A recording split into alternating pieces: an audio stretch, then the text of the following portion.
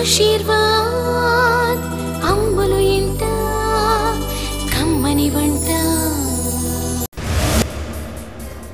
పుదీనా సూప్. సరేనా?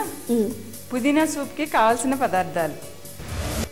ఒక కప్పు పుదీనా ఒక కప్పు ఉడకబెట్టి తురుముకున్న బంగాళదుంప ఒక పచ్చిమిర్చి ఉప్పు కొద్దిగా మిరియాల పొడి స్టవ్ వెలిగించుకొని ఒక గ్లాసు నీళ్ళు. మనకి మనం ఒక కప్పు పుదీనా చేసుకుంటున్నాం కాబట్టి ఇప్పుడు ఒక గ్లాస్ నీళ్ళు. ఇంకా కొంచెం నీళ్ళు వేసుకుంటే మనకి ఎవాపరేట్ అయిపోయి కొన్ని మిగులు కొన్ని కరెక్ట్గా గ్లాస్ మిగులుతుంది. ఇందులో ముందుగా మనం రెండు స్పూన్లు పుదీనా. పుదీనా. వేసుకున్నాం. ఇందులో కొద్దిగా అంటే చిన్న ఇంత చిన్న అల్లం ముక్క చాలు. దాన్ని సన్నగా తరిగి అది కూడా వేసుకున్నాం పచ్చిమిరపకాయని సన్నగా తరిగి ముక్కలు చేసుకున్నాం కనపడుతున్నాయి కదా? ఇవి కూడా కొద్దిగా రుచికి ఉప్పు. కనపడిందా? ఆఖరిగా ఇది ఉడకబెట్టి సన్నగా తురుముకున్న బంగాళాదుంప. ఉడకబెట్ట ఎందుకు? ఇది స్టార్చ్ కోసం. ఇది వేయడం వల్ల ఏమవుతుందంటే మనకి కొంచెం చిక్కగా. పిండి పదార్థం కూడా ఉండాలి కదా సూప్లో? అందుకు గాను మనం ఈ దుంపను కూడా వేసుకుంటాం సూప్ కొంచెం చిక్కగా ఉంటుంది కాబట్టి. చిక్కగా సూప్ కొంచెం చిక్కగా ఉంటుంది కాబట్టి. చిక్కగా ఉంటుంది ఆఖరిగా మనం దీన్ని ఏమీ లేదు శుభ్రంగా మూత పెట్టుకొని. ఒక ఐదు నిమిషాలు హైలో పెట్టి పొంగు రానివ్వాలి. ఇంకో విషయం తెలుసా? బాగా రొంప పట్టేసి చికాగ్గా ఉంటుంది చూసా? అమ్మా అందులో ఇప్పుడు అసలే వర్షాకాలం కదా అందరికీ అంతే. అప్పుడు ఆ సూప్ తాగితే ఉంటది. ఆరోగ్యానికి ఆరోగ్యం. రుచికి రుచి.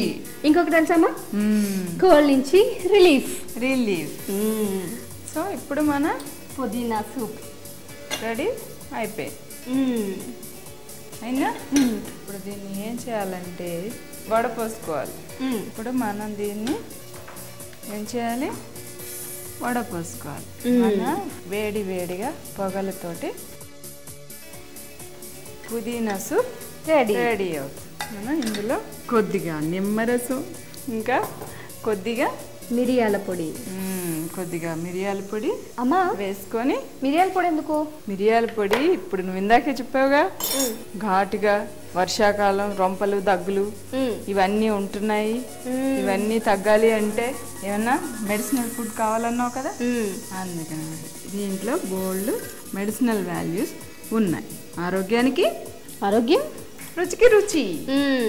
మన పుదీనా సూప్. సూప్ రెడీ అయిపోయింది. రెడీ అయిపోయింది.